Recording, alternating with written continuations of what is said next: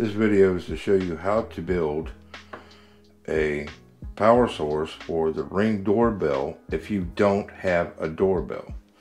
You'll need a transformer that steps down to, I think it's 18 or 24 volt transformer. You'll need two of these wire fasteners. You'll need a metal box, an extension cord, and some fasteners. This is like a staple uh, for to hold the wire. All of this is fairly inexpensive. Box here will cost you about three bucks. These little fasteners, they only cost you um, like 99 cents. These right here is about three bucks. This extension cord is seven bucks. And then I got this for free because I do HVAC, so I got this for free. Um, you might be able to shop around and find one of these. I don't know exactly where at the present time. I'll see if I can find a link for it. You might be able to get them on Amazon. This is how we do it. The first thing you're gonna need is you'll need to knock holes out, okay? So this box is what's gonna mount to the wall. Um, I'm gonna put one at the bottom and one on the side. They're fairly easy to knock out. But you can use about anything. But just be mindful of how you want the wire to go. If this is on the wall, I want it to come out of here, to come down, and on the other side, I want it to come out the side. So you just take anything really. Just get it started. Just get it started like this. And just twist it out. So that's the first knockout. Um, I think I'll go with that on the top. And go out the bottom. They're fairly easy to get out. And then your little wire fastener, open it up a little bit, turn the screws. So your hole's open. And you can put it however you really want to because this is not electrical like up to code so this is just to hold the wire. So you just stick it in there and spin that around tighten it up. There we go and then do this one vice versa my power wire is going to go in here so I got I got one of these because I thought it was super cool how it looks like old antique wire. That's the only reason why I bought it. But we'll get rid of this. We don't need that. I just thought it was cute looking. So anyways, I don't need all of this wire. But I'm not gonna cut it all off yet. So for right now, straighten it out a little bit. And we're just gonna cut the end of it off. Well, there you go. Is all that is is just a cloth covering on it. That's all it is. Now I'm gonna strip the wire a little bit. Let's get that cloth off of there. Let get a little bit more on there.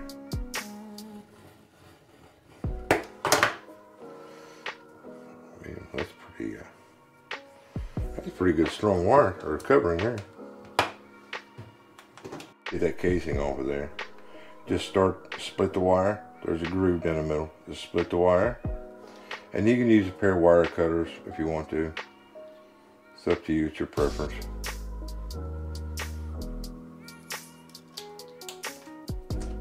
The wire off.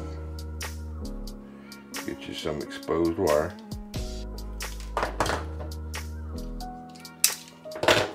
and then you want to run it up in there and then just tighten up your screws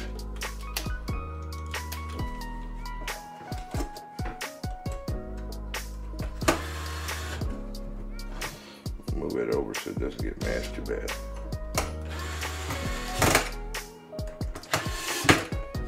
like so and then your transformer is going to get wire netted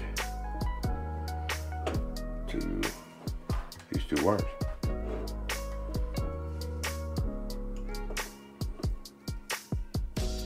Just like so, put wire net on. You need to mount the transformer. just I just want to do it real quick, to show you. And then you tighten up your screws, of course. Now you got a transformer box. Cool. Basically, this gives you a 24 volt output for your ring doorbell. So now you want to run a, mount this on the wall, mount this on the wall anywhere. You paint it black, whatever you want to do with it. And then you just plug it in the wall, you got 24 volt. You run your uh, wire over for your transformer, and I'll show you how I'm going to do it. I'm going to put my box up here, and I'm just going to mark where my, my uh, mounts are going to go. What I'm going to use is just a couple of plain mollies, screw in mollies with a couple screws. Pencil. What I like to do first is I'll run the screws in real quick. And that just kind of opens up the wall a little bit. See that one right there? That's got a stud in it, so I don't need a molly for that side. So we're gonna we'll put one molly in there. And then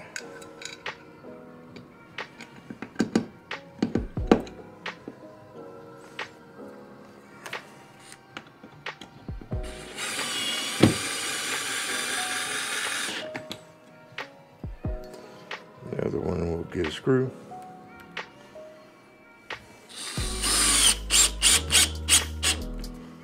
Just like so. Just like so. Now what I've done on mine is because I live in an apartment and um, the old cover was gone and this is how it was. So I mounted the doorbell on the other side, ran the wire through the hole and I took, this is thermostat wiring um, and I just ran it around a rod and made it into a pigtail so I can put it up here on this.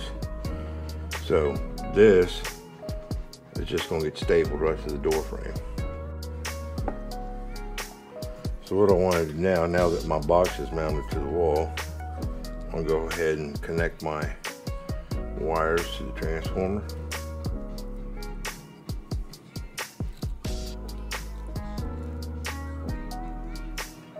Deal. Couple wire nuts on there.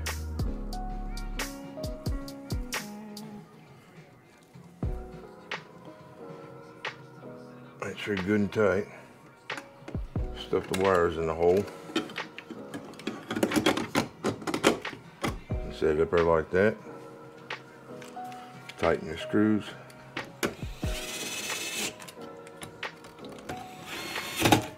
There we go. That's all we have to do is to take the low voltage and connect it to here. Pretty simple process. Flathead screwdriver.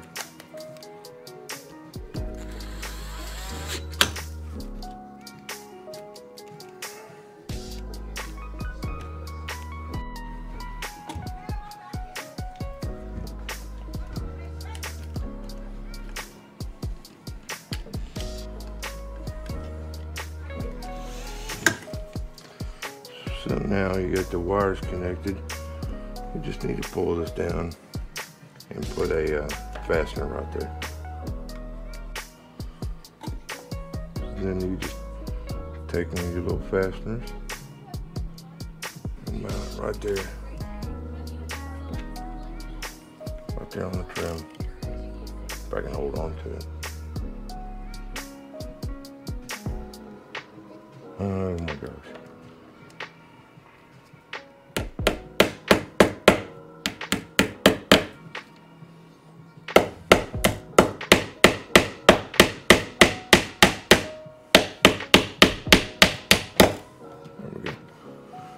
That way when, when you open the door, this is not gonna get all tangled up. And then, all I gotta do is just take it down, plug it in. Now you can run this, tighten this all up and shit. Not necessary. If you want to, you can mount that to the wall. You get your wire plugged into the wall. You got the 12, you got, now this is not gonna shock you, shock you, but if you put your hand on it, it it's like a bat battery, low voltage. So the wire's just pigtailed over. Now what you can do is you could set it up higher, you know, so nobody can reach it, but I'm the only one living here, so right there is just fine for me because I've got plenty of access cord and that's the reason why that's so long. So I can technically move it up higher, but that's the easiest way to do it, man. So if you don't want to do it this way, the other way you, you can move it up high, mount this to the door and have it come down. But if you don't want this, I, I this is cool with me. I I don't get to get into get pants on this. The other thing you can do is on one of the, and drill a hole through here in the corner at an angle and it'll come out on this door trim on the other side of the door. And then you mount the let's say this for instance this is your uh, doorbell. You can mount it. You can mount it like this on the door trim. And that will give you your doorbell except for being on this side you put it on this side. You know what I mean? I did it over here because my outlet is right there I mean there is an outlet on this side but on the outside of the door I'll show you what it looks like out there. Well that looks looks like that. But I also could mount it right here run the wire through the trim put that box that electrical box on the other side of the wall. That way is because the box would have been right here you know and I like kind of weird things like this. I'll show you it's just an old freaking nappy ass garage door or garage window. It's actually sitting on its side instead of being this way it's this way. That's how I, I just put a mount on it. I mean it's got chip paint on it and everything. And I just took a Christmas light ran it around it and plugged it in. You know it's just little stuff like that just makes life different. You know what I mean air conditioning line set it's got the old filter dryer on it see it's all dusty and nasty but anyways it's around my thermostat I just put a screw in the wall and hung it up it's see, I like rust or uh, things like this. I just think it looks neat. So that's the reason why I did my doorbell like that. So when you're, you, you can do that however you want to. I'm just, this is just a way to show you how you can supply a power source for a ring doorbell without having a doorbell. Because not everybody's got that. In apartments, you have to get those well, not, you always, almost always have to get the, the remote ones where they're battery, we got to charge them back up. Well, those things cost like 150 bucks. I got my ring doorbell for, I think it was like 40 bucks or something like that two Christmases ago. They were just giving them away basically, so I got one. Um, you know, so so on putting it on the trim on the outside, you'll have to get a long drill bit because you want to be able to drill straight through. You just go at a slight angle so that you're going through the trim on the outside and you're going to come out in the drywall on the other side. Um, and that way you're just a straight shot. You can leave the drill bit in there, take a piece of thermostat wiring, you know, tape it to the end and pull back through, you know, I, I, did that at my last unit. I just drilled a hole right through the trim, ran wire right through the trim. The other thing is, you gotta be mindful of putting it on the light switch side is that there's a lot of power right there. So you gotta be careful about drilling a hole through the wire because if you live in an apartment, man, you, mess that up, you're gonna have to explain yourself and you might have to pay for damages. That's the reason why I went through, also on mine, I went through the, the doorbell because, or the old chime doorbell, it, it was gone you know. And I just, like I said, I like cool stuff like that. It's just kind of really weird stuff. I'll show you my uh, lamp over in the corner.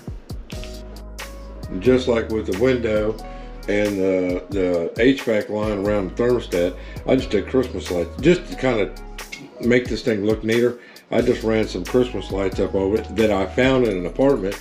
And then each one of these bulbs is different. Um, that's pink that's a fire bulb and that's a multi-color bulb. I can actually use my cell phone to turn that to another color. So it's just neat little stuff like that. Hope you enjoyed that, man. If you have any questions about that, let me know.